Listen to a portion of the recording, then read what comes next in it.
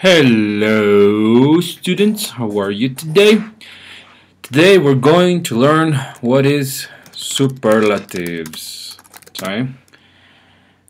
Superlatives. Do you remember do you remember do you remember comparatives?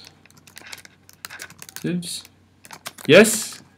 Then very good. Good job. You're very smart. Now today we're going to learn what is called superlatives. Superlatives superlatives are adjectives that compare one noun to three or more nouns. Okay? So we still have adjectives. They're right here. No? So for example, we're going to use uh, What's an example? Small or large or big or even happy. Huh? They're all adjectives. These are all adjectives. They describe a noun. Yeah? Describen lo que es un objeto, una persona, un lugar, etc. Okay? But now, instead of comparing one to another one, so instead of saying 1 versus 1, we're going to have 1 versus 3 or more. Okay? So here, for example, in comparative, we have the tiger is, let's say, um, let's say the tiger is bigger than the lion. Okay, this is one noun or one object, right? And the lion is another object.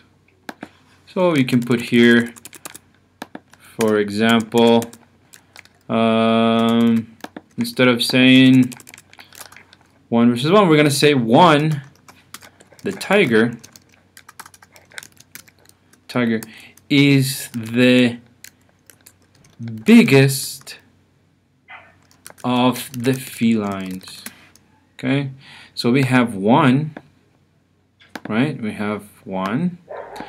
Now we have many or plural.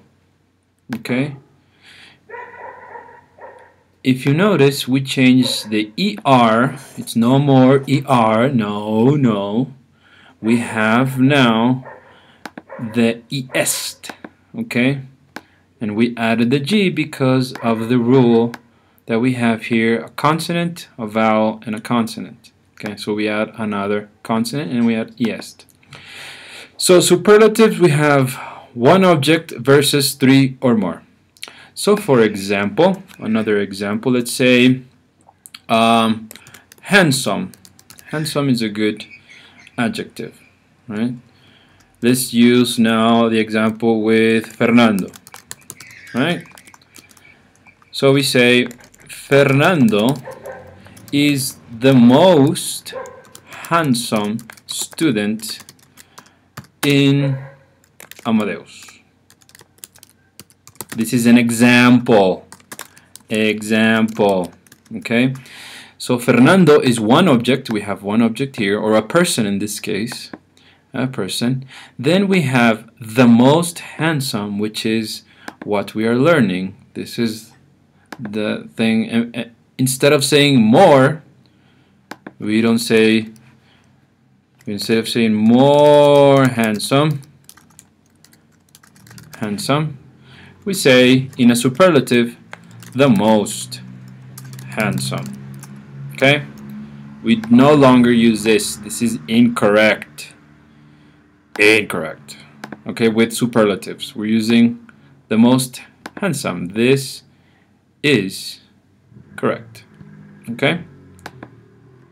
So we have our object here, and then we have the student. We have a lot of students. We have how many students in uh, in Amadeus? Like 400 students? I don't know, something like. There's a lot, a lot of students. Okay.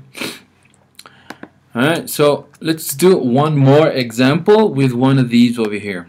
Okay. Let's try small let's say um, the car Okay, or let's use a pickup truck. My pickup truck, let's say small, we're going to use small, is the smallest in my town. Okay, we have one item here, one thing, and in my town we have several, right? Because there's a lot of trucks in Zacatecas. But mine, my truck, my, because we're talking about my truck, is the smallest. Es el más pequeño mm, de todos los que. So, these are the superlatives, okay? Now let's check the grammar. If you see these are the rules, all right? I want you to copy the rules into your notebook, okay?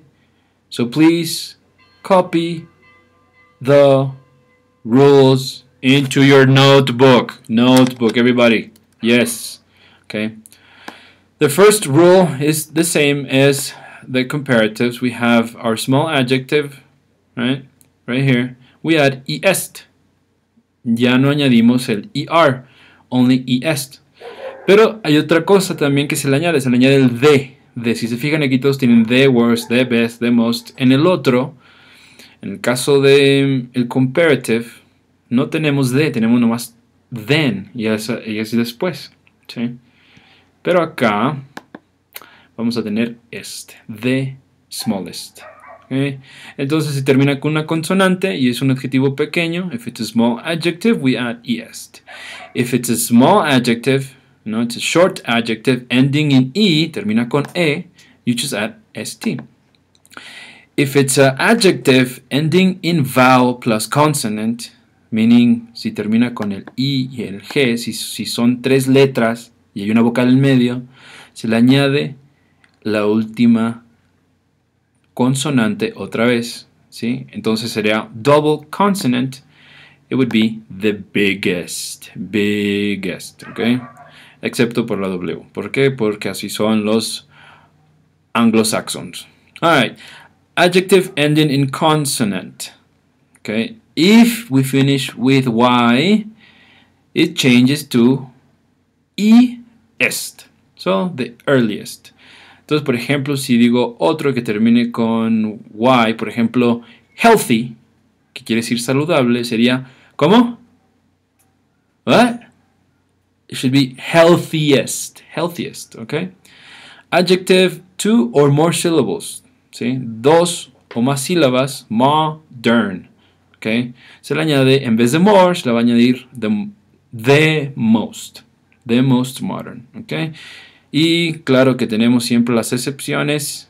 En este caso tenemos good, bad, fair. And these turn into the best, the worst, and the farthest. Okay, everybody copy this? Perfect. Now we're going to do examples. I want you to do these examples into your notebook and I want you to write them, okay? Number one, I really like Phil. He's the funniest, the funny Como la palabra es funny, termina con E, it finishes with Y, we take Y out and put est, boy in our class. Okay? Perfect. Alright, and that's it guys. If you have any more questions, we're gonna we're gonna do this exercise after you're finished.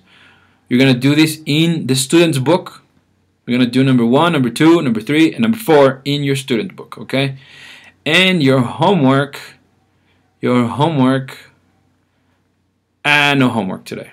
You have to turn in your project tomorrow, so no homework. Alright, guys. Bye-bye. Bye. -bye. Bye.